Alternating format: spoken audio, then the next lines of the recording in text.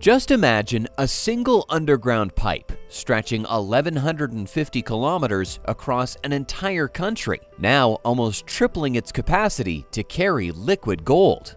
This isn't just any pipe, it's a massive steel artery up to 106.7 centimeters wide, pushing 141,500 cubic meters of crude oil every single day, enough to fill over 56 Olympic-sized swimming pools daily. This engineering marvel, the Trans Mountain Pipeline expansion, has burst past its initial cost of 5 billion Canadian dollars, ballooning to an astonishing 34 billion dollars.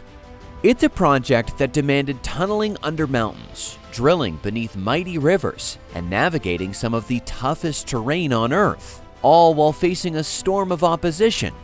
How did engineers pull off such a feat? And was the monumental price tag truly worth it?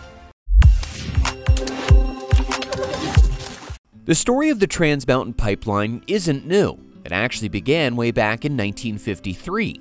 Back then, it was a much simpler, smaller pipeline built to carry oil from Edmonton, Alberta, all the way to Burnaby, British Columbia, on Canada's Pacific coast.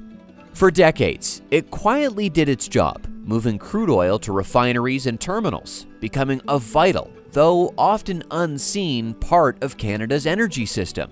But as Canada's oil production grew, especially from the oil sands, the old pipeline just wasn't big enough anymore. It was like trying to pour a waterfall through a garden hose. So the idea came about build a second, much bigger pipeline right next to the first one, essentially twinning it. This wasn't just about moving more oil, it was about connecting Canada's landlocked energy reserves to global markets, especially in Asia, providing a direct route for Canadian oil to reach buyers beyond North America. This vision, however, would soon run into incredible challenges, turning a simple expansion into a decades long saga. So, how do you even begin to build nearly 1,000 kilometers of new, giant pipeline through some of the most rugged landscapes imaginable? The Trans Mountain Expansion, or TMX as it's known, wasn't just laying pipe in flat fields. It was an epic battle against nature and engineering limits. One of the most mind-boggling parts of the project was boring the Burnaby Mountain Tunnel in an urban area. Imagine trying to thread a giant needle under a bustling city through solid rock. That's what they did. This tunnel is 2.6 kilometers long, which is like walking across 26 football fields laid end to end. It's almost more than 4 meters wide, taller than a standard basketball hoop. Inside this massive underground pathway, three 76.2 centimeter pipelines, about the size of large car tires, now carry oil. To dig this tunnel, engineers used a specialized machine called a tunnel boring machine, or TBM, nicknamed Burnaby Nellie. Think of it as a massive, super strong metal worm. At its front, a huge rotating cutting head, covered in sharp discs, grinds away at the rock and soil. As it chews through the ground, conveyor belts behind the cutter head carry away the crushed rock, called muck, out of the tunnel. At the same time, the TBM lays down concrete segments, like giant building blocks, to create the strong, circular walls of the tunnel right behind it. This process allowed them to dig under the mountain without disturbing the homes and university campus directly above, keeping the city safe and sound. Then there were the incredibly tricky river crossings. Rivers are vital ecosystems, and you can't just dig them up. The solution for many of the 75 major crossings, including the mighty Fraser River, was horizontal directional drilling, or HDD. Picture this instead of digging an open trench through the riverbed, HDD is like performing underground surgery. First, a small pilot hole is drilled from one side of the river, going deep under the riverbed and emerging on the other side. This pilot hole is only about 30 centimeters wide, like a dinner plate. Once the pilot hole is complete, a much larger cutting tool, called a reamer, is pulled back through the pilot hole, making it wider and wider in stages until it's big enough for the pipeline. For the Fraser River crossing, which stretched 1.4 kilometers, it was like threading a giant, flexible hose underground for nearly a mile. The conditions under the Fraser River were incredibly challenging, with unpredictable soil and rock. Once the hole was big enough, the pre-assembled steel pipeline, coated with special abrasion-resistant material to protect it, was pulled through the enlarged tunnel. This technique is expensive and time-consuming, but it protects the river's sensitive environment and avoids stopping ship traffic. But the biggest natural challenge was the Rocky Mountains. The pipeline slices through steep, jagged terrain, often facing slopes so steep you could barely walk up them. Here, traditional digging methods were impossible or too risky. Engineers had to use incredibly precise techniques. For clearing paths through solid rock, they used controlled blasting. Experts carefully measure the exact amount of explosives needed, place them in specific patterns in drilled holes, and then set them off in tiny, millisecond long delays. This controlled explosion breaks the rock into manageable pieces without sending debris flying everywhere or causing massive landslides. It's like breaking a giant cookie into small, neat pieces.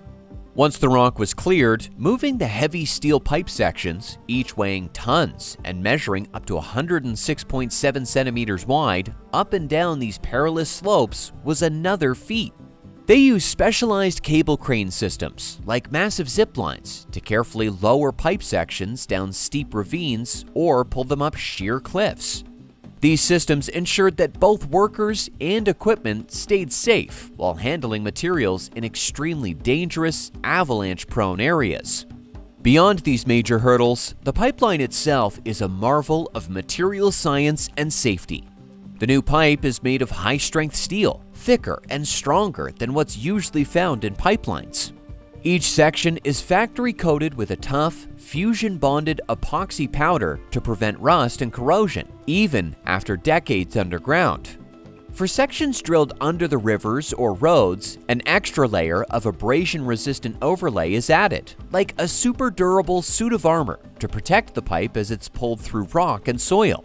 Safety isn't just about tough pipes. The TMX system uses incredibly advanced technology to prevent spills. A nerve center called a Centralized Control Center monitors the entire 1,150 kilometer pipeline 24 hours a day, 7 days a week. It uses a high tech system called SCADA, which is like a giant digital brain, constantly checking flow rates, pressure, and the oil's characteristics. If anything seems off, like a sudden drop in pressure or a change in flow, an alarm goes off. The system also has automatic leak detection and emergency shutdown features, which can close special valves along the pipeline to stop oil flow almost instantly if a problem is found. They even laid a fiber optic cable right alongside the new pipeline. This cable acts like a super sensitive ear, listening for tiny vibrations, temperature changes, or ground movement that could signal a problem, giving engineers an early warning system Every one of the 12 new powerful pump stations along the route, which act like the pipeline's heart, is also equipped with ultrasonic flow meters, giving super accurate readings of how much oil is moving, adding another layer of security. Once the oil reaches the coast, it arrives at the Westridge Marine Terminal near Vancouver. This terminal had to be massively upgraded to handle the huge increase in oil flow. The old facilities were replaced with three new berths, which are like parking spots for giant oil tankers. These berths are specifically designed to safely load Aframax tankers, which are mid-sized oil ships, onto their journey across the Pacific. To feed these tankers, the project also greatly expanded the amount of oil storage. At the Burnaby terminal alone, 14 new storage tanks were built, massively increasing the storage capacity there from 1.685 million barrels to 5.555 million barrels. This expanded capacity is crucial for handling the massive flow of oil and ensuring smooth loading onto ships. This entire project, while a staggering engineering accomplishment, has come with a price tag that has shocked many. It swelled from an initial estimate of around 5 to 7 billion Canadian dollars to a colossal 34 billion dollars by 2024. The Canadian government, which bought the pipeline in 2018 when its original owner, Kinder Morgan, faced too much opposition, now plans to sell it off, hoping to recover some of the public money invested. This massive cost overrun has fueled intense public debate, with critics calling it a boondoggle. Beyond the finances, the project has faced fierce opposition from environmental groups and many indigenous communities. Concerns range from the increased risk of a major oil spill in the sensitive Salish Sea, home to endangered killer whales and vital salmon runs, to the impact of increased tanker traffic, which creates underwater noise that can harm marine life. There are worries about diluted bitumen, the type of oil carried, sinking in water if spilled, making cleanup incredibly difficult. Many First Nations communities also spoke out against the project, arguing that their consent was not properly obtained, and they raised serious concerns about the impact on their lands, waters, and cultural heritage, as well as the social issues arising from temporary work camps, often called man camps, near their communities.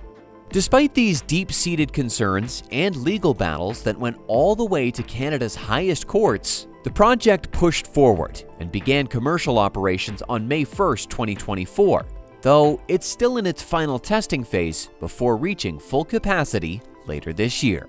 What do you think about the Trans Mountain Pipeline? A necessary lifeline or a costly gamble? Let us know in the comments below. Don't forget to subscribe for more amazing engineering stories and hit that notification bell so you don't miss our next adventure.